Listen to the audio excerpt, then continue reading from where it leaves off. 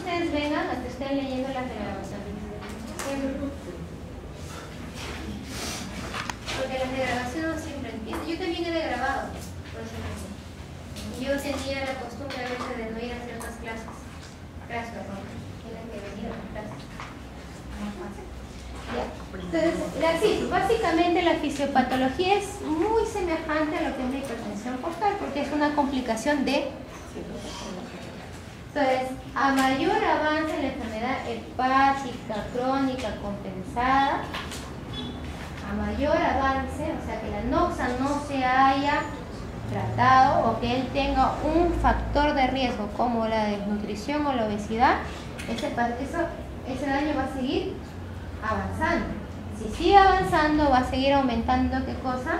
La hipertensión portal. Al aumentar la hipertensión portal, va a empezar a producir Si se produce asitis, ¿se puede producir falla renal? Sí, de tipo funcional, porque no la que hace cirrótica no es estructural, es funcional. ¿No es cierto?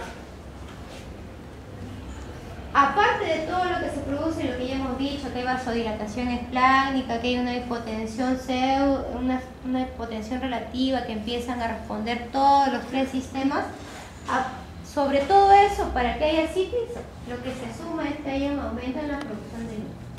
Nada más, después está el cuarto. Entonces, para en un paciente que yo sospecho que tiene asitis, lo primero que yo tengo que estudiar en todo paciente que tenga asitis o líquido en pericardio o líquido en pulmón, lo primero que tengo que estudiar es el Porque dependiendo de, eso, de lo que me sale es que yo me voy a guiar. Y la hipertensión portal es sencilla, ¿no es cierto? Para nosotros poder saber si tiene hipertensión portal tenemos que establecer el gradiente de albúmina en líquido en sérico menos el líquido acítico. Entonces ahí te dice, si este sale más de 1.1, quiere decir a mayor gradiente, mayor grado de hipertensión portal. O sea, lo más probable es que te esté diciendo que haya mayor, mayor presión portal. Al haber mayor presión portal va a haber mayor cantidad entonces es claro, hay hipertensión portal cuando es más de 1.1. Si es menor de 1.1, entonces yo empiezo a pensar a la cabeza enfermedades infecciosas, luego neoplásicas, luego pueden ser renales, pancreáticas y todas las demás. Cuando es en mayor de 1.1, lo que yo tengo que pensar es que netamente se localiza en hígado. ¿Qué puede ser? Puede ser una hepatitis alcohólica, sí. Puede ser una hepatitis alcohólica. Puede ser una cirrosis, sí. Puede ser una cirrosis. Puede ser que haya metástasis hepática, sí. Puede ser que haya metástasis Porque hemos visto que estructuralmente también se puede producir, estos nódulos pueden producir hipertensión portal. Entonces, la citis. Sí, sí. Entonces, ¿Cómo sé que tengo asitis en un paciente? Hay la indetectable por examen clínico que solamente la veo por ecografía. Esa es la de tipo 1. La de tipo 2 es la que yo ya puedo evaluar de manera clínica, ¿no es cierto? Hay matidez desplazable, ¿no es cierto? Eso me va a decir ya tiene una asitis de segundo grado. Y la de tercer grado pues es la netamente evidente atención. Y la de tercer grado es atención.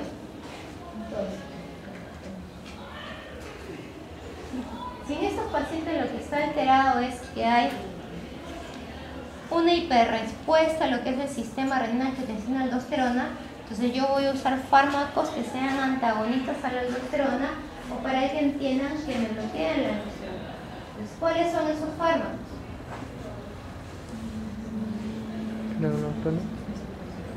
La espirinolactona, ¿cierto? Lo que nosotros tenemos son es espirinolactona.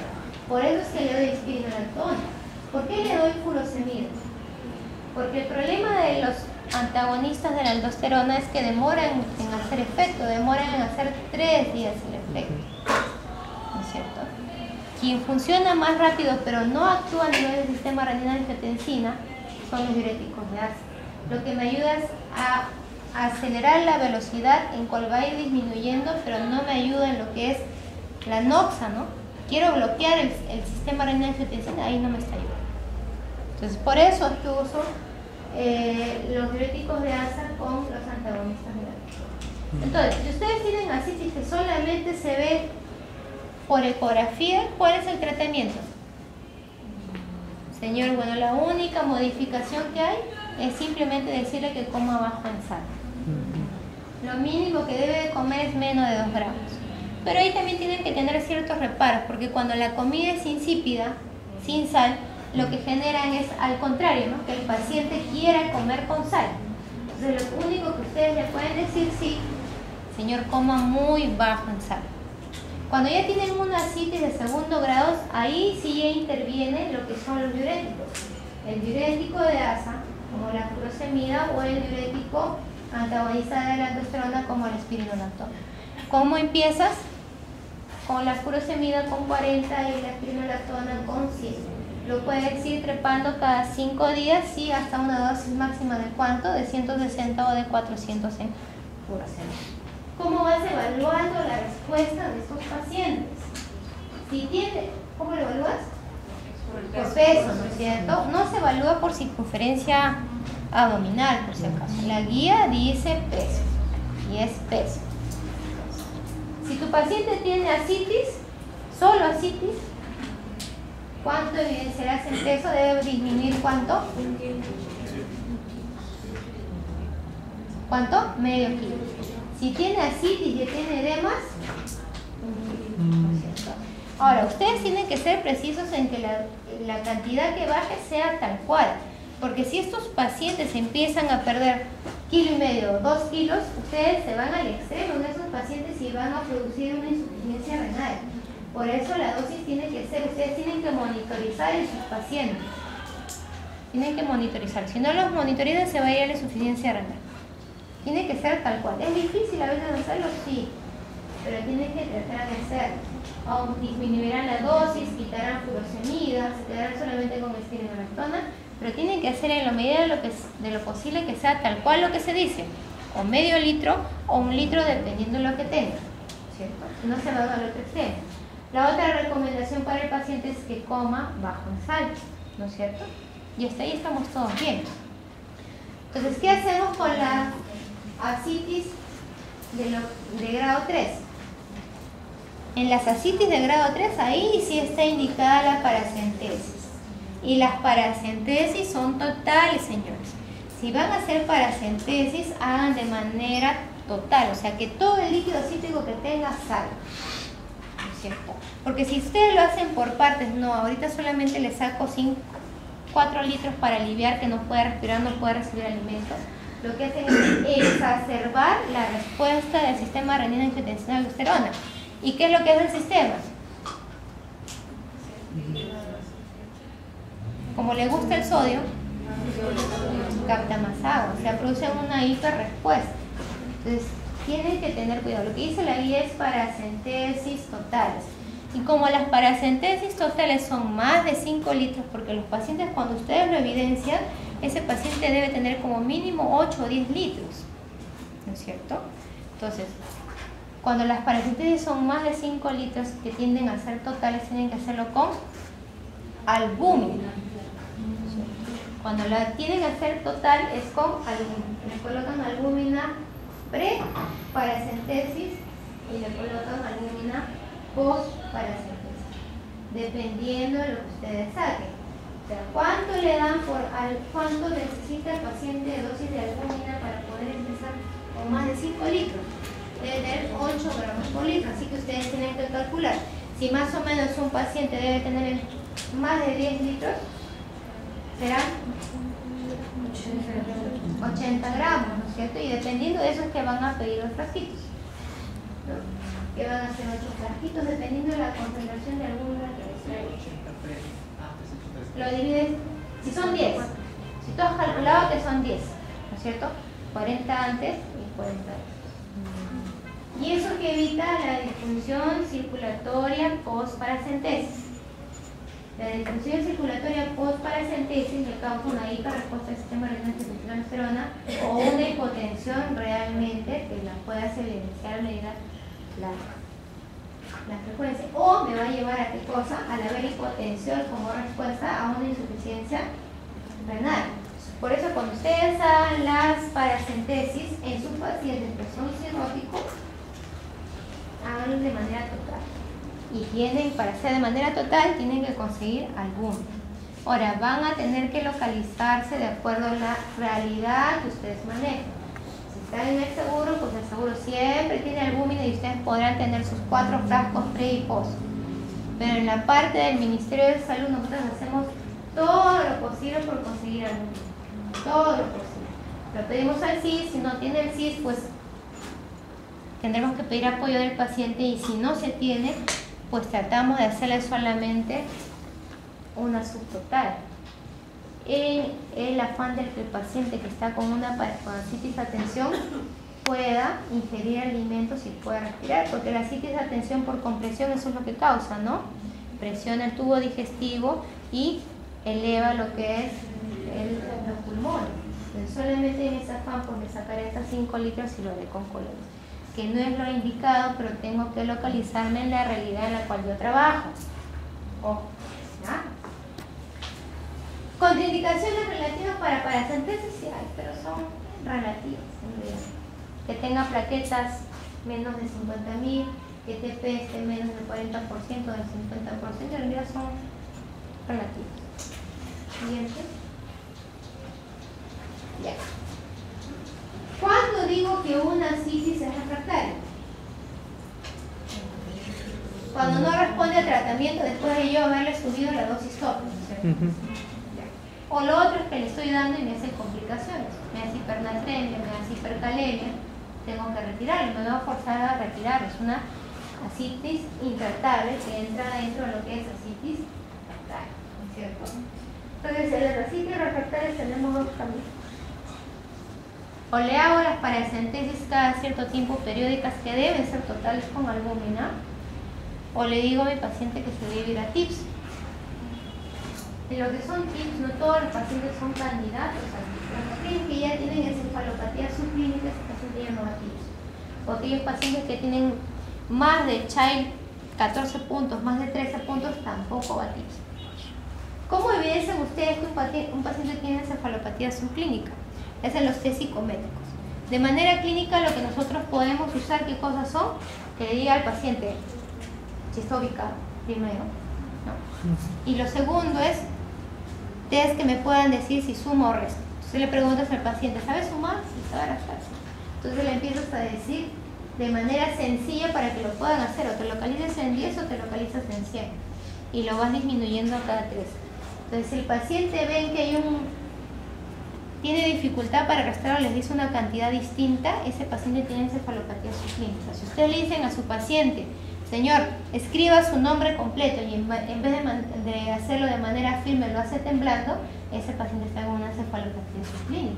Porque te está conversando, te está hablando, pero realmente está encefalopatía. Esos pacientes ya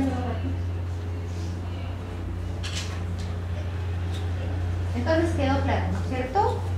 La tratable que es de primero, segundo, tercer grado y que responden netamente diuréticos, que responden a paracentesis totales, son las refractarias, que es la más difícil, que es la que ustedes van a tener que hacer para paracentesis periódicas, o le van a decir a sus pacientes que le van a colocar TIPS, y recuerden que los TIPS son un tratamiento previo a lo que es el trasplante. El paciente trasplante, porque los TIPS solamente te van a durar 3 o 6 meses dependiendo del material que te lo porque eso se obstruye. Al obstruirse te da encefalopatías a repetición. Entonces son tratamientos cuenta lo que es el Entonces, ahora, otro problema que solemos ver en los pacientes con ascitis es aquellos que hacen infección del líquido acítico. ¿Cómo le definimos que es que hay una infección? O que tiene una peritonitis bacteriana espontánea. Cuando tiene más de 250 polimorfos nucleares, ¿no es cierto? Tiene más de 250, ya este paciente tiene peritonitis bacteriana Ahora, lo que ustedes tienen que ver es que ese paciente siempre tiene que tener en consideración si ese paciente, esa infección es intrahospitalaria o si es extrahospitalaria. Si está más de tres días hospitalizado, entonces será una peritonitis bacteriana espontánea intra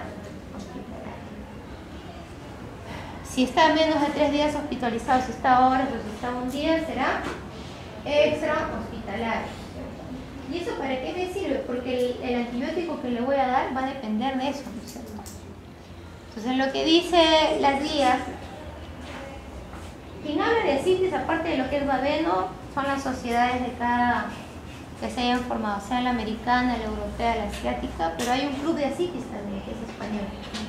El club de asitis habla sobre eso. Entonces, ¿qué es lo que dice, por ejemplo, el club de asitis? Quien más escribe sobre esto es Ginés. El tratamiento antibiótico por excelencia que debe recibir es la cefotaxina. Por excelencia. Pero también le puedes dar, si usted no tuviera amoxiclavulánico o también le puedes ¿Cuántos días le darás? Siguiente. ¿Cuántos días le darás?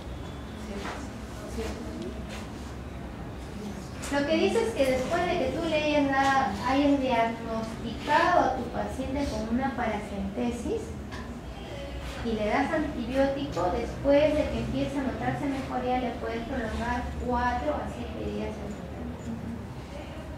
Eso es lo que dice tienes que monitorizarlo con una paracentesis.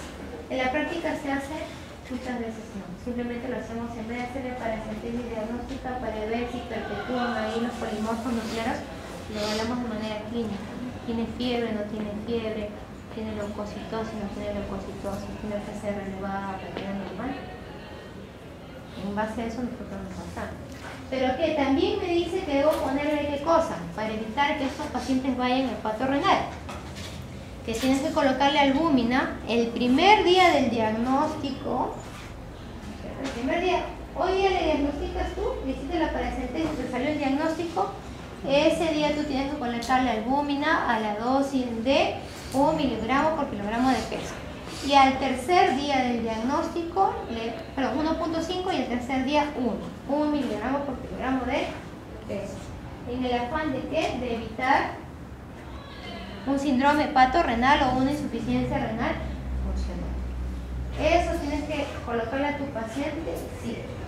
Ahora, si tú ves que no mejora, asumiendo que tu paciente fuera una intrahospitalaria y le das hipotaxima y no mejora en, al cuarto día, porque tiene que dejar pasar cuatro días para ver si mejora o no, no mejora, pues tendrán que rotar los antibióticos a uno que te cura gérmenes intrahospitalarios. Los que te curan gérmenes intrahospitalarios son las penicilinas, las cefalosporinas de tercera, los carbapenems, los monobactams, ¿no es cierto? Entonces, dependiendo de lo que tú tengas, es que vas a empezar a, rotarle el antibiótico. Entonces, si no funciona con la cefalosporina de tercera que le pusiste la cefotaxima, entonces tienes que virar a lo que tengas. En mi caso, lo que nosotros tenemos es meropenem y mipinel, ¿no es cierto? Y tengo que darle también pensando en que haya un gran positivo, como un enterococo o un coco. Entonces le agrego banco. ¿No es cierto? Si ustedes ven que no mejora a pesar del tratamiento, tienen que pensar muy bien. O es otro germen, o realmente ya está adquiriendo flora intrahospitalaria, porque esos pacientes están hospitalizados. Entonces, nunca se olviden de localizarse en sus pacientes si son intrahospitalarios o extrahospitalarios. Esto es muy importante para que ustedes puedan definir qué antibiótico van a usar. Es lo mismo la neumonía, no es lo mismo tratar una neumonía extrahospitalaria o adquirida en la comunidad que una neumonía intrahospitalaria. ¿No es cierto? Los fármacos son distintos porque la flora es distinta. Es lo mismo, lo mismo pasa acá. Siguiente. Otra de las patologías que afecta a todos los pacientes que tienen asitis es una insuficiencia renal funcional o síndrome hepato-renal. El síndrome de hepato-renal es por exclusión. Yo tengo mi paciente cirrótico, no todo cirrótico y que hace insuficiencia renal va a ser funcional. Ustedes primero tienen que descartar que la insuficiencia no sea porque esté tomando algún fármaco, ¿no es cierto? Como que esté tomando diuréticos, nefrotóxicos o que tenga una infección urinaria, que también hace insuficiencia renal, ¿no es cierto? O que tenga simplemente una insuficiencia renal per se el paciente antes de, que lo haya adquirido antes de ser cirrótico. O sea, tienen que descartar todas las causas que ustedes puedan sospechar antes de pensar en que es una funcional. Hay dos tipos del síndrome patronal. El tipo 1 que es más agresivo, ¿no es cierto? Que trepa mucho más rápido la creatinina y estos suelen empezar de 2,5 y se disparan rápidamente. O los del tipo 2 que son más lentamente progresivos. ¿Los dos son candidatos a trasplantes? Sí, los dos son candidatos a trasplantes. Siguiente. Tal cual. Lo mismo en la fisiopatología, ¿no es cierto? Hay una hipertensión portal, hay una vasodilatación marcada, una hiperrespuesta del sistema renina, angiotensina, aldosterona. Va a haber una, una a nivel renal. A nivel renal se va a producir una respuesta exagerada, una vasoconstricción y por lo tanto una insuficiencia renal, en este caso es el síndrome patronal tipo 2. Siguiente. ¿Y cuándo se convierte en uno? Aquellos pacientes que ya tienen una insuficiencia renal funcional, renal 2, que tienen una NOx aguda.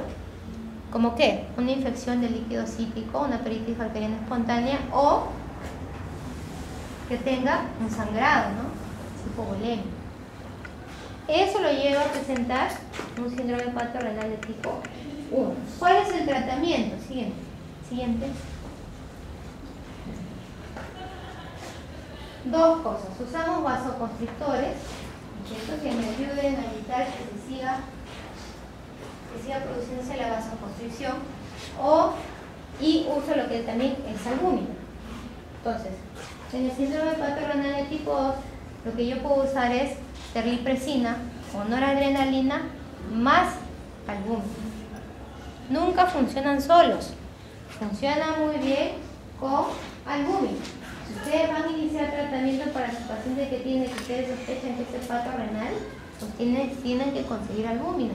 Si no, no funciona, no mejora, no, va, no van a evidenciar ustedes la disminución de lo que son los niveles de creatinina, tiene que ser con albúmina. ¿Cierto? Siguiente, siguiente. De eso les estaba hablando, ¿no? Ahora, este tratamiento que ustedes instalan en el paciente también es un tratamiento puente a lo que es el trasplante. Todos, todos los pacientes que ya hacen asitis ya son candidatos a trasplante. Porque ya quiere decir que la enfermedad está progresando. Mientras está compensada, no hay asitis, no hay bilirrubina elevada, no tiene TP prolongado. Pero ya cuando empiezan a descompensarse, empieza a subir la bilirrubina, empieza a producirse la asitis y esos pacientes per se ya son candidatos a lo que es el trasplante Ahora, ¿quiénes podrían usar terlipresina? Tengo que tener mucho cuidado en aquellos pacientes que son mayores de 70 años y en aquellos pacientes que son cardiópatas o que tengan alguna enfermedad vascular. En eso sí tengo que tener cuidado con los pacientes. ¿Tenemos terlipresina en el Ministerio de Salud? Sí. En, en salud también. Cuando no tenemos terlipresina, usamos noradrenalina. Y le explicamos al paciente que puede haber como consecuencia qué cosa? cianosis, ¿no es cierto? Cristal, que es lo que ustedes han visto que se ha estado produciendo, ¿no? Que no es una negligencia médica, ojo, lo informan mal, es una complicación de administrar el tratamiento. ¿Se puede producir en todos los pacientes? No, es un pequeño porcentaje, pero se puede presentar. Eso se le tiene que informar al paciente, porque si no piensan que algo hemos hecho mal. No es que hayamos hecho mal, es una complicación de él. Siguiente. Entonces, lo que ustedes pueden hacer, lo tratan a su paciente y en espera de trasplante le colocan un chip. ¿No es cierto? Mientras esperan o entra lo que es, porque también tienen que evaluar si es candidato a trasplante. No es que todos vayan a ser trasplantados, tienen, son candidatos. Tienen que cumplir ciertos criterios para ver si va a trasplante. Obviamente esos pacientes y esas familias, a las familias tendrán que explicarle, señora, está en una etapa muy avanzada de enfermedad, si tienes un programa de trasplante, vamos a ver si cumple los criterios para el trasplante. Y si no, dos opciones. Le puede decir que puede ir continuando recambiándose los tips, ¿no es cierto? Y si él no desea, pues le tendrás de decir que el periodo de sobrevida es corto, ¿no? Eso siempre tiene que explicarle al paciente, porque el paciente no sabe lo que ustedes han estudiado, ellos no son médicos, no van a ser médicos. Tienen que explicarle de manera sencilla qué es lo que va a pasar con su paciente que tiene cirrosis y que ya está empezando a presentar así, que tiene que ser claro. ¿Se puede morir? Sí, se puede morir. Siguiente. Ahí. Ahora, ¿cómo evito yo en algunas enfermedades evitar que me haga síndrome patronal? Ya les hablé de la peritonitis bacteriana espontánea, ¿cierto? En aquellos que hacen peritonitis bacteriana espontánea tengo yo que ponerle, así como el tratamiento antibiótico, antibiótico tengo que darle albúmico, ¿cierto? A 1.5 y a 1. El día 0 y el día 2. O el día 1 o el día 3. ¿No es cierto? En aquellos pacientes que hacen hepatitis alcohólica, tengo que yo prevenir que esos pacientes vayan a hacer síndrome patronal, insuficiencia renal funcional. ¿Cómo? Le doy pentoxiflina, 400 miligramos cada Durante cada 8 horas son 1200 gramos miligramos por día. Y en la otra enfermedad que también debemos prevenir es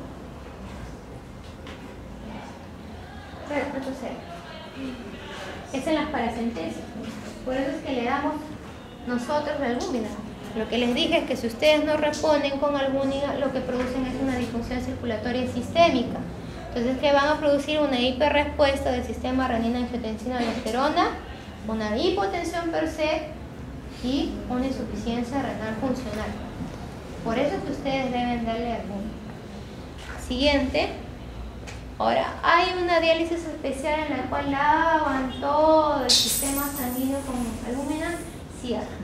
En el hospital lo hacen, sí lo hacen, pero también, como les digo, tienen que cumplir criterios para que puedan ser así ¿Cierto? Finalmente, todo esto es un puente hacia lo que es el trasplante, siempre y cuando sea candidato. ¿No es cierto? Dependiendo de la teología si es por NAS, si es por alcoholismo o si es por hepatitis B, tienen que ver que cumplan ciertos Y terminamos, ¿no? ¿Preguntas?